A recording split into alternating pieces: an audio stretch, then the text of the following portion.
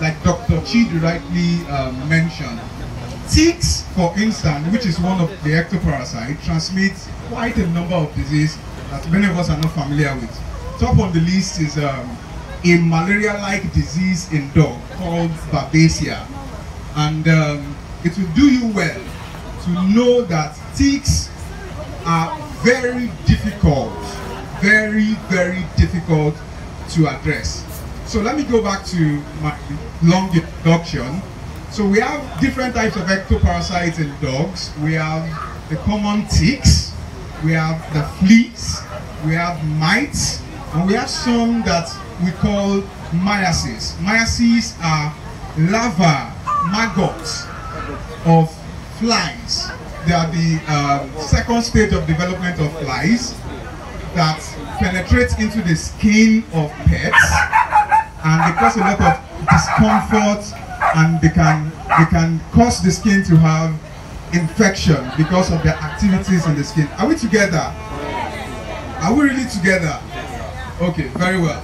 So I'll take them one after the other. I'll talk about fleas, I'll talk about ticks, I'll talk about mites, and I'll talk about myiasis, which is uh, the most common things we have. Why are we talking about them? These um, um, parasites can cause you not to bond with your dog. Imagine you seeing live worm, live maggot from dogs.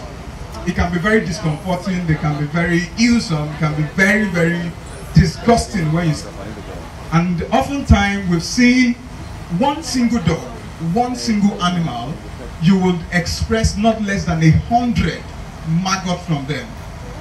You can see also in one single dog, you would find over a hundred ticks on them. On one single dog, you can find over a hundred flea on them. So just imagine you have a dog that has, careful, sorry, you have um, ticks and fleas on them. You wouldn't want to touch that kind of dog. You wouldn't want to socialize with that kind of dog. You wouldn't want to play with that kind of dog. So um, I would talk about ticks now. Ticks are called a lot of English acarids.